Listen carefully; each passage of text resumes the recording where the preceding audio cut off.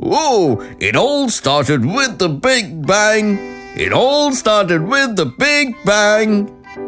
Bang! What? Yes, little kitty. Everything we look around, right from the grain of sand to trees, to mountains, earth, galaxies, and the universe, it was all formed after a Big Bang. Still confused, friends? So, in today's episode, let us learn about the beginning of our universe and shed some light on an interesting question.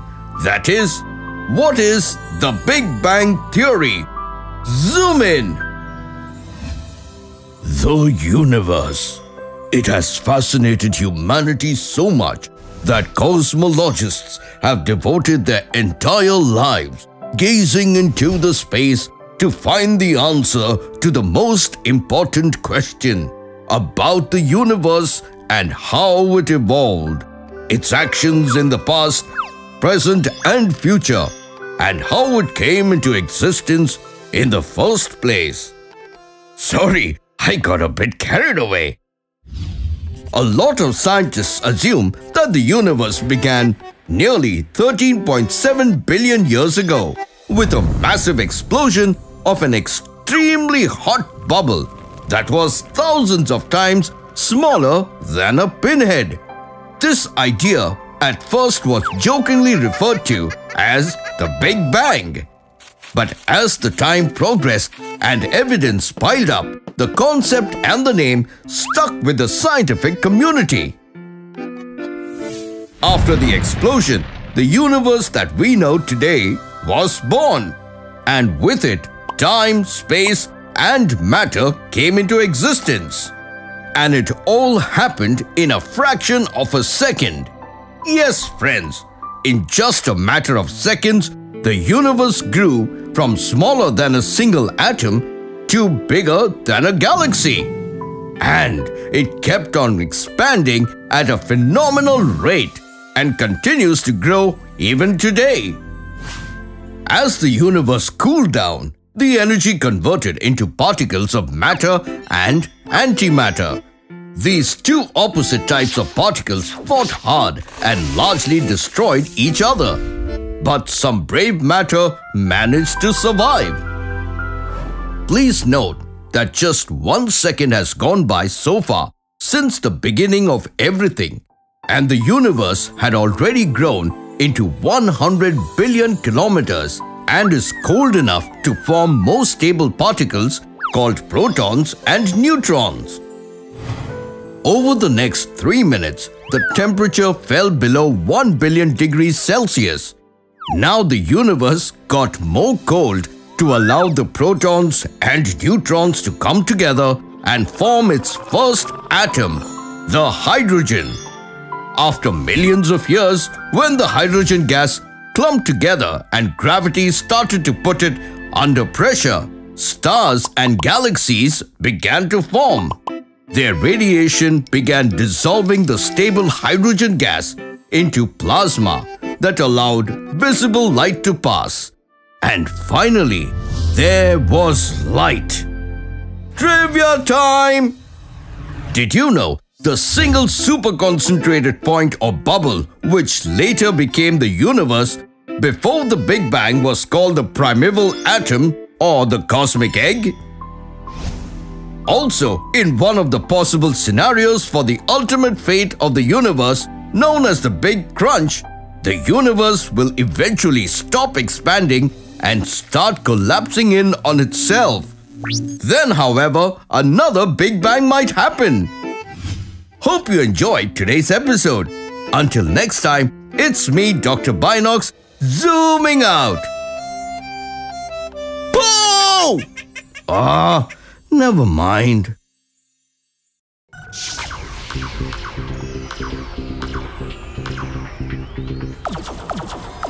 Coming soon, Guardians of the Milky Way. Milky Way?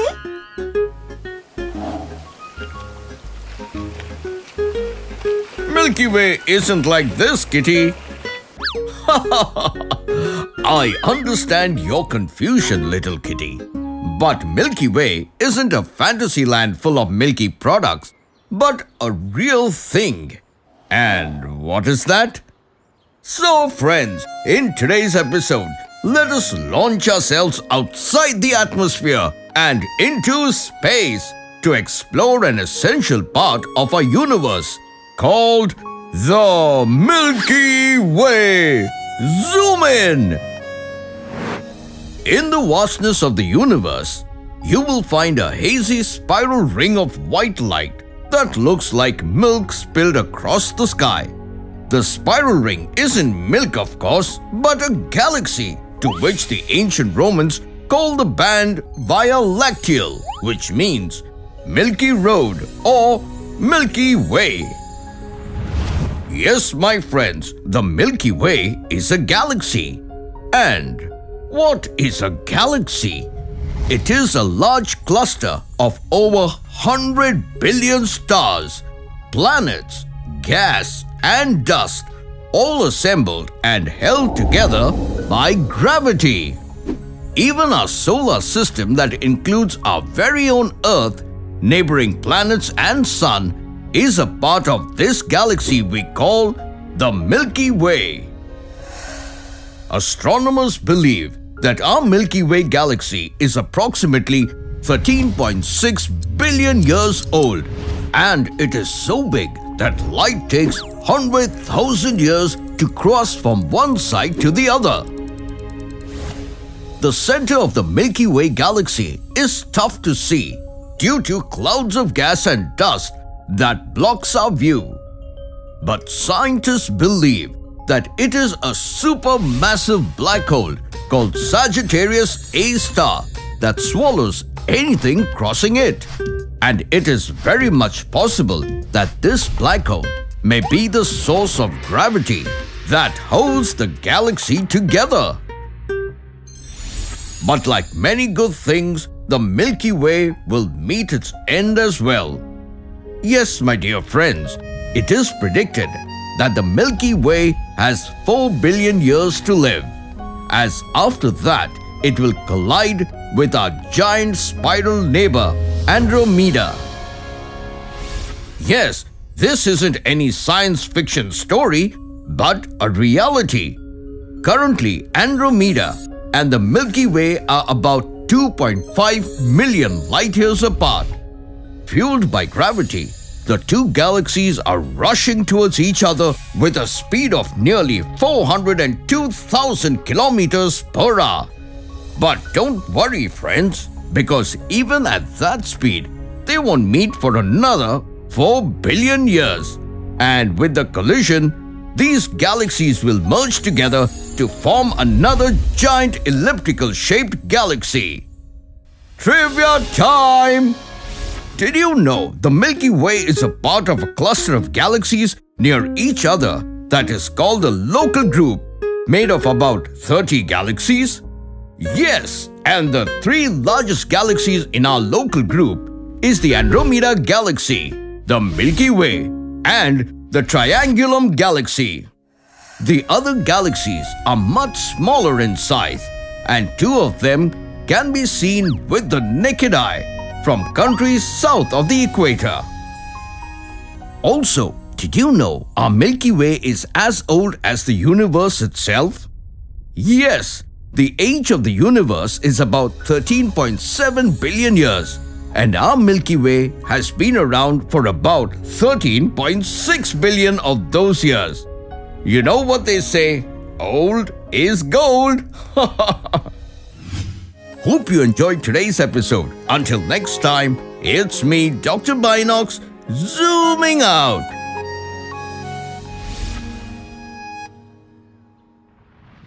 Ah, never mind. Hey friends, don't you just love a warm sunny day? From afar, it seems like the sun is equally bright no matter where you look from. But that is not the case. If you look closely at the surface of the sun, you will see some areas darker than the others. And sometimes you might even see sudden bursts of brightness on the surface of the sun. These are what we call sunspots and solar flares. Let me tell you something more about them. Come on, zoom in. The sun is a dense cloud of bright and hot gases. It holds immense pressure within itself, and sometimes this pressure becomes too much. So the sun has to let go of some of its energy. When the sun does this, some areas on the surface become even brighter. These bright areas are called solar flares and they disappear very suddenly. Solar flares usually take place around the active parts of the sun's surface, such as the sunspots.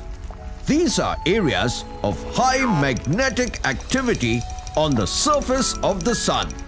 Although they produce light, it is not as bright as the area around it. So the sunspot appears darker. They are actually cooler than the rest of the sun. When a solar flare occurs, it also releases different kinds of energy particles like electromagnetic energy, electrons, ions, etc.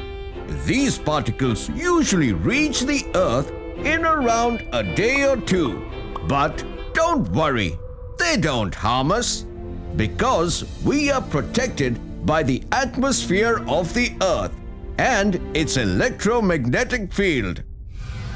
The sunspots were even used in ancient times to figure out that the sun rotates. When people looked at the sun, they noticed the spots change and realized that the sun must be rotating. Trivia time! Auroras, popularly known as the northern lights, are caused by the solar wind hitting the Earth's atmosphere. Sunspots were observed as far back as 364 BC by astronomers in ancient China. now, wasn't all this amazing? Who knew there is so much going on on the surface of the sun? As they say, don't judge a book by its cover. Who knows what is going on under such simple looking things? So, friends, until next time, keep your binoculars out and your eyes open.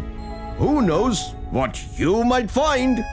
This is me zooming out. Hmm. Hmm. Hmm. What do you call the death of a star? Well, that's an easy one. It's called a supernova. Supernova what? Supernova, Kitty. Oh, you've never heard of that word before, Kitty? No. Well, there's no need to worry, my dear, when Dr. Binocs is here. So let me grab this opportunity and teach you and our friends out there about this natural phenomenon called supernova. Zoom in. Stars, they come in all colors, shapes and sizes like the blue giant, red giant, red supergiant.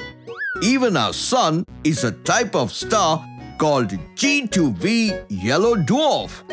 But despite these differences, most of them meet their end with a supernova. So, what is a supernova? Well, a supernova is a massive explosion that takes place at the end of a star's life cycle. In other words, it is the death of a star.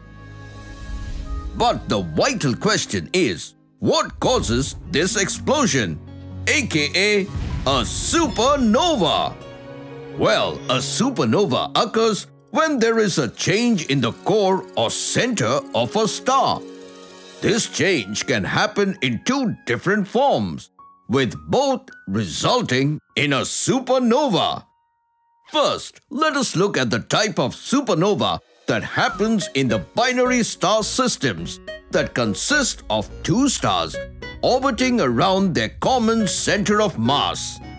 During the process, one of the stars, a carbon-oxygen white dwarf, takes matter from its partner star. Eventually, the white dwarf gathers so much matter that makes it difficult to digest and causes the star to blast, resulting in a supernova. The other type of supernova happens at the end of a single star's lifetime. As the star runs out of nuclear fuel, some of its mass flows into the core. Eventually, the center part of the star is so heavy that it cannot withstand its own gravitational force and it becomes like a nuclear time bomb. Finally, the core collapses and all the matter and radiation blast out, which results in the monstrous eruption we call a supernova. But fortunately, not all stars end with a supernova. Even our own sun is a single star, but it does not have enough mass to become a supernova, or else it would have been a significant threat to our solar system that includes our Earth. Trivia time! Did you know a supernova burns for only a short duration? But it can tell scientists a lot about the universe.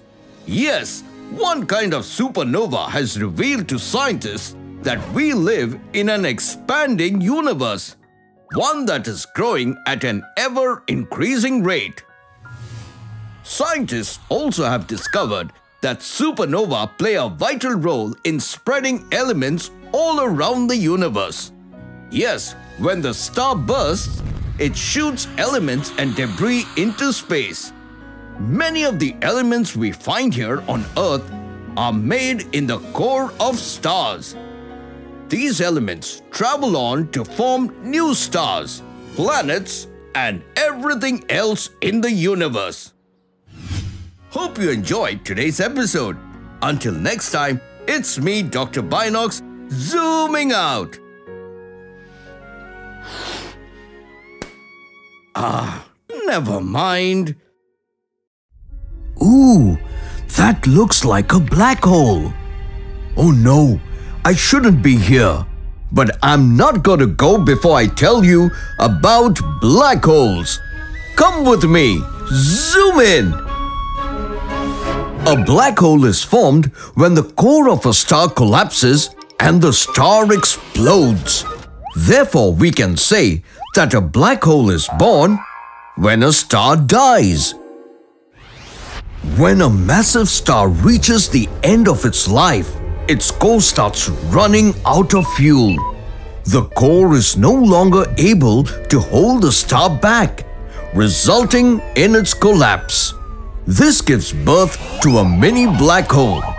With gravity running wild inside it, the black hole starts eating up everything that's left of the star. And it all happens in milliseconds. Even before the star can realize what's happening to it, it explodes. The explosion releases a tremendous amount of energy, even more than our sun can produce in its entire lifetime. Whoa! Isn't that crazy? Hmm, let me tell you a secret. You could turn into a black hole.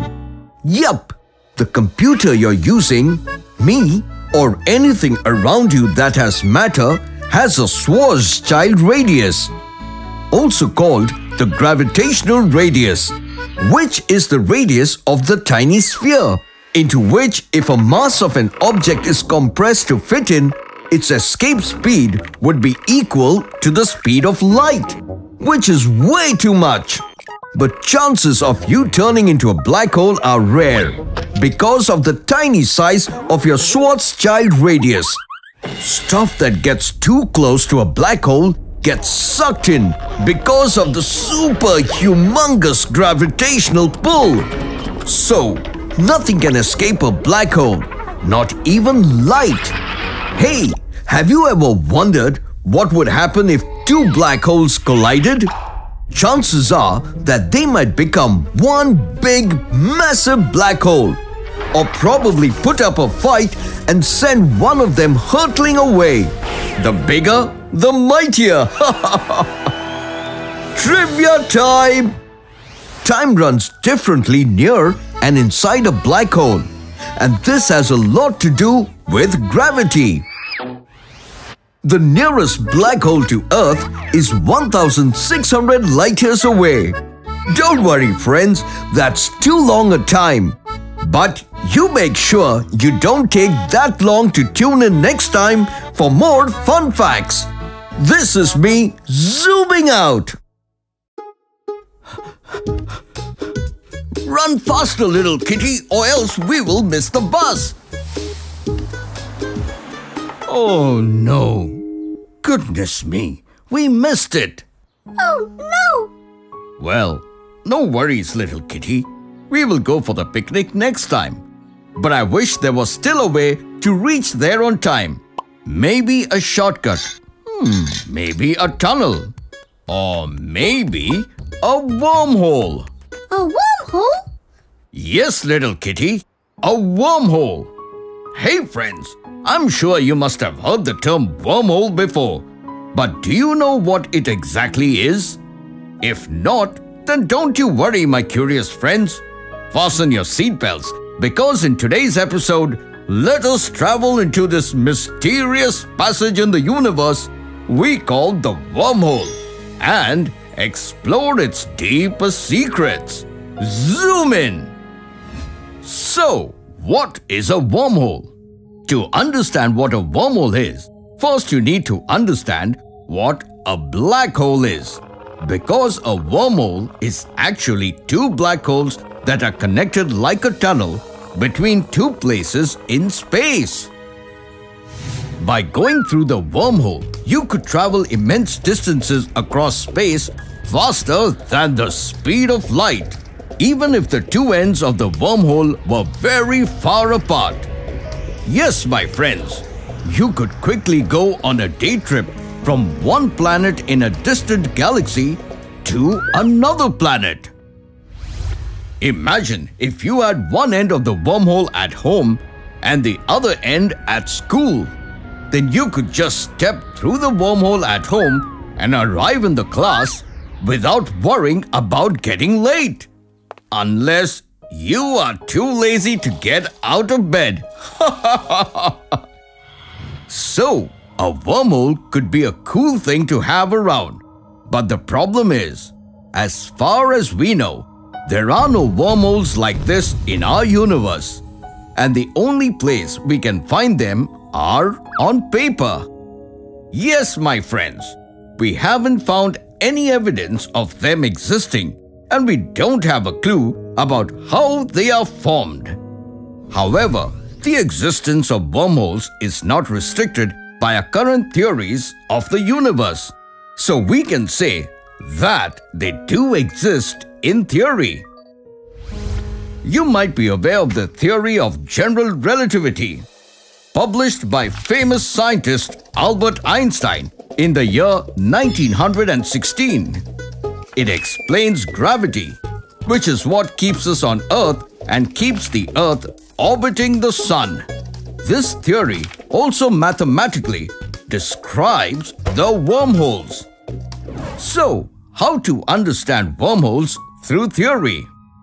Firstly, we need to know about something called space-time. We often imagine space-time as a flat, stretchy fabric sheet. Everything you see around in our universe exists on this hypothetical space-time fabric sheet.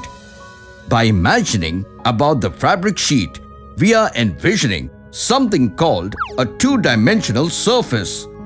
A planet wandering on the sheet can choose two kinds of movement, going front and back or going left and right. But in reality, space is three-dimensional, which means that planets can also jump up and down. In fact, there's also a fourth dimension, and that is time. And by putting all the dimensions together, you get what we call space-time. Now, let's get back to wormholes. Imagine we want to travel from one place to another on this imaginary space-time fabric sheet. Say, from Earth to a faraway planet. Even with the fastest rocket, this journey could take thousands of light years to complete. So this theory proposes that what if we could fold over the fabric so that our Earth and the faraway planet line up and then make a hole connecting the two layers of space-time. Then we could have a shortcut tunnel to get to the planet without having to take the longest route.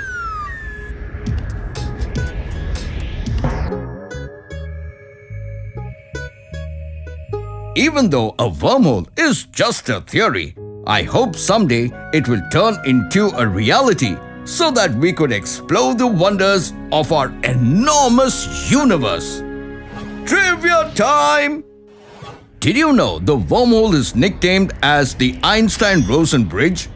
Yes, that's because in 1935, Einstein and physicist Nathan Rosen used the theory of general relativity to elaborate on the idea, proposing the existence of bridges through space-time. Hope you enjoyed today's episode. Until next time, it's me, Dr. Binocs, zooming out. Ah. Never mind.